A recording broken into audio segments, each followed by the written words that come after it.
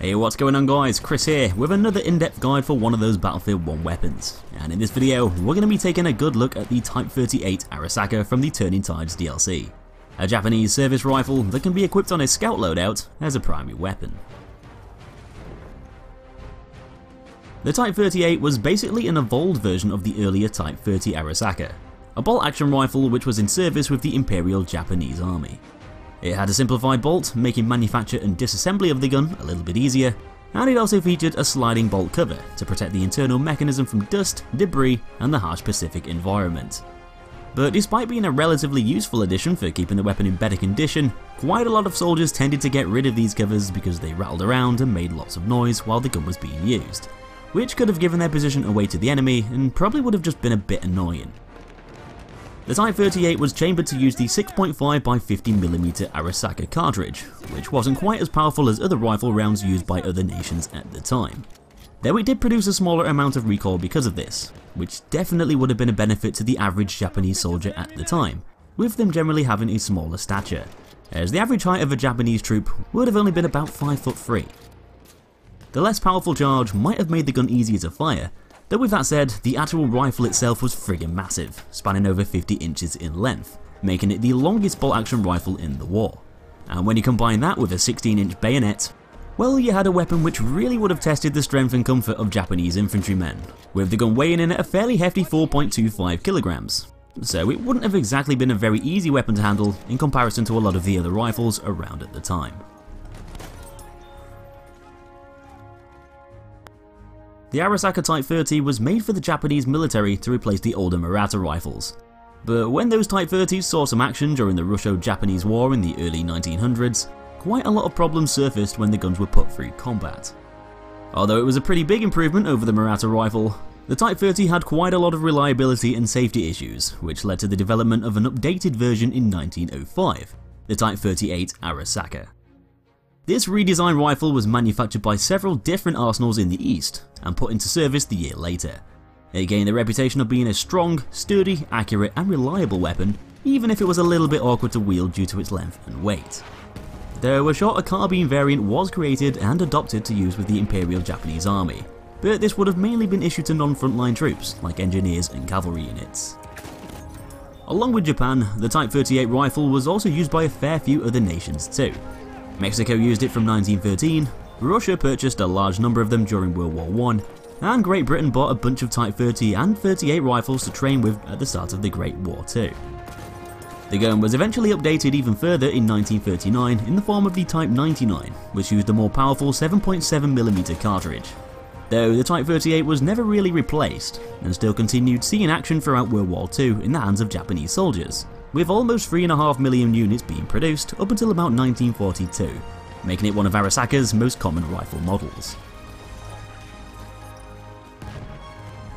So there's only one version of the Type 38 Arisaka rifle, which is the infantry variant, and you'll have to own the Turning Tides DLC if you want to unlock it.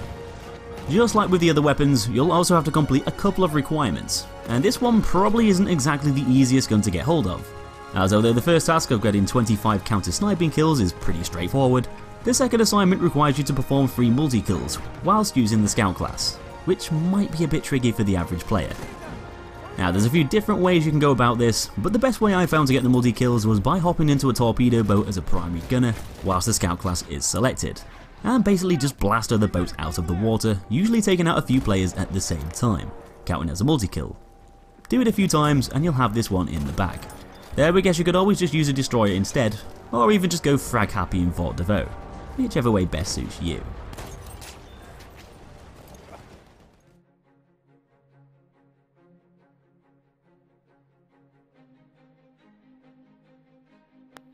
But anyway, let's talk about those damage stats first. The Type 38 Arisaka is yet another scout rifle which has its own unique sweet spot zone, giving it the ability to kill more effectively at those early mid ranges. So if you're a fairly aggressive scout player, then this will probably be music to your ears. The gun's going to dish out its minimum damage of 80 at those closer ranges up to 10 meters, but then it'll start to increase gradually up to 30 meters, reaching the start of the Arisaka's sweet spot zone. Between 30 and 62.5 meters, the rifle's going to deal its maximum damage of 100 with a well-placed shot to the chest. But straying beyond that 62.5 meter mark, the damage will start to decline down, back to its minimum value of 80 again at 102 meters. So despite firing that fairly mild 6.5mm round, the gun's still going to deal a decent amount of damage across the board, having the same maximum and minimum damage values as a lot of the other rifles. Though its sweet spot span isn't exactly massive, so targets are less likely to lie within it. Although the sweet spot zone starts 10 meters before the SMLE Mark III, it also begins 10 meters further than the Vetterli rifle. So although it might be a really deadly weapon for attacking enemies head on and advancing towards objective points, it might not kill quite as consistently up close, making it more suitable for mid-range gunfights with a slight gap between you and your target. It's pretty similar to the Martini Henry's one-hit kill zone, which also starts at 30 meters too, though the Martini sweet spot spans 18 meters further, plus it also deals bonus damage between 42 and 68 meters, allowing it to generally kill more consistently over those mid-ranges, by overriding those lower body and upper arm multipliers. Outside of the Arisaka's sweet spot zone, the rifle's going to kill in two bullets to any part of the body. And of course, if you plant one of your rounds into an enemy helmet, then that 1.8 times multiplier is going to be enough to take them out of the fight instantly at any range. So I definitely advise going for those headshots, whenever you can.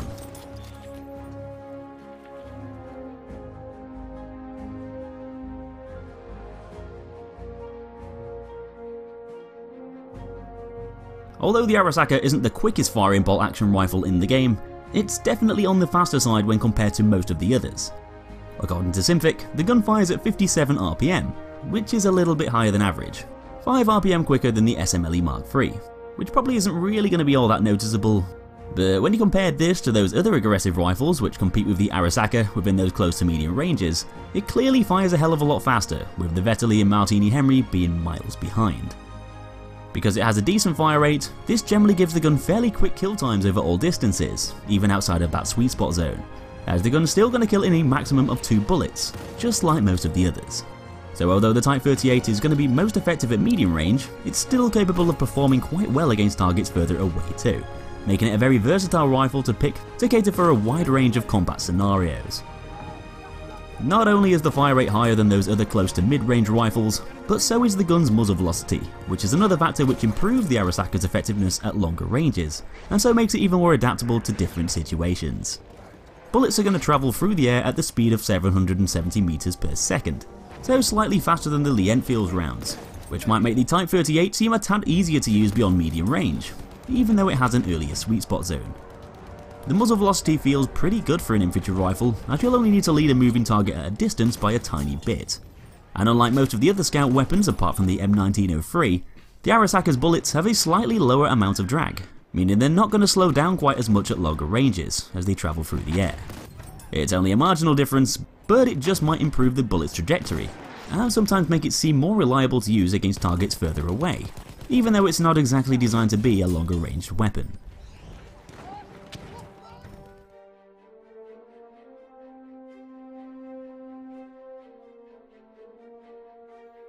The Type 38 Arisaka's accuracy isn't really all that different to the other scout weapons, which all generally have the same or at least very similar amounts of recoil and spread.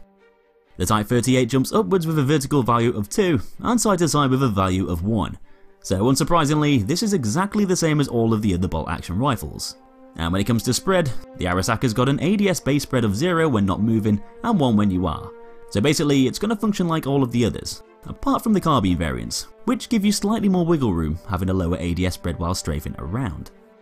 If you want to be accurate, you've got to stand still. It's just a simple fact of how rifles work in Battlefield 1, and the rules definitely don't change here. Though one thing to mention about the Type 38 is that being an infantry variant, this means that it's also got the same spread decrease benefits that the other infantry variants have too, being able to recover twice as fast from spread per second when you stop firing. This might allow you to be more accurate when landing that second killing blow on an already weakened enemy player. And although it unfortunately doesn't have the same recoil decrease benefits as the other infantry variants, which would have made it feel a bit easier to line up that second shot by having the sights reset a tiny bit faster, at least the quicker recovery from spread should make it seem more precise, reducing the chances of your bullet straying off target due to random bullet deviation, thus helping to increase the weapon's accuracy slightly over a lot of the other non-infantry rifles.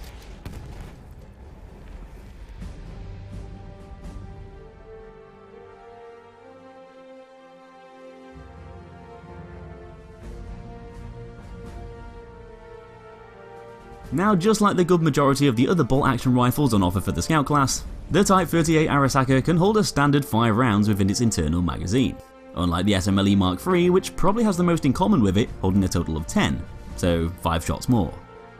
It might not seem like much, but it's still got one more bullet than the Vetterli and 4 more than the Martini Henry, which can practically only hold one round at any time. And with these guns also being best used for offensive sniping closer to the front lines, the Arisaka is going to have a bit of an edge over them both, giving you one more shot to bring down an enemy within that sweet spot zone or finish off a weakened player low on health. In a similar way to the Mosin Nagant, the Type 38 has a dynamic reload, which basically means it reloads at different speeds depending on however many bullets are left over in the gun. The reload times are all pretty average, and there's nothing exactly massively different when you compare it to the other rifles, with tactical reloads taking about 3 to 4.4 seconds and full ones taking 3.9, which is very similar to the others, give or take a few milliseconds.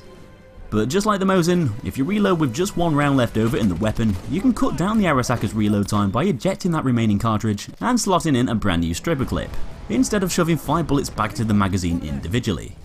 So it's definitely best to keep this in mind to give yourself a tactical advantage up on the front lines. And if you're not in a vulnerable position with a single round left over, it's often best to reload, as it'll be exactly the same speed as a full reload anyway, giving you more ammo, first preparing you for a shitstorm that just might be around the next corner. So anyway, in conclusion, the Type 38 Arisaka is a weapon made for aggressive players who don't want to sacrifice too much long-ranged effectiveness at the same time. It plays a bit like a less consistent but more reliable Martini Henry, with a lot of similar factors to the SMLE, being most useful for early mid-range gunfights just behind the front lines. Unfortunately, the Type 38's got one of the smallest sweet spot zones in the whole game, meaning enemies are less likely to lie within that one hit kill area. Plus it's not going to deal any extra damage to override those body part multipliers like the Martini Henry does,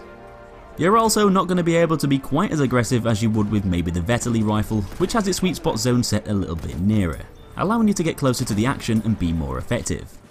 But the Arisaka can perform better over distance, having a quicker muzzle velocity, less drag, and slightly higher range damage, making it a much more versatile weapon for dealing with enemies over a wider scale. And when you combine these elements with the fact that the gun fires a bit faster than most of the other scout rifles in the game, let alone the Vetterli and Martini Henry, which are both pretty sluggish in comparison, then you've got yourself a fairly well-rounded package, granting you decent kill times over most distances.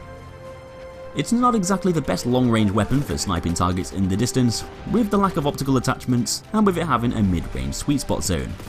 But it still definitely shouldn't be underestimated, especially if you've got a steady aim and can line up those lethal headshots. The gun doesn't really have any special qualities when it comes to ammo capacity or reload speeds, though it can reload a bit quicker if you've got a round left over in that internal magazine something which quite a lot of the other scout rifles just simply can't do. Overall, the Type 38 is one of the most well-rounded, flexible scout weapons in the whole game, as although it's mainly designed for mid-range fights, it's still a strong choice to pick to deal with a variety of different situations outside of that sweet spot zone. And so long as you can line up those shots and can judge that muzzle velocity, the Arisaka could do some serious damage towards the enemy team. So that's just about it for another one guys, hope you enjoyed the guide. Hit that like button if you did, and subscribe for tons more videos coming soon. Take it easy, and I'll see you in the next episode.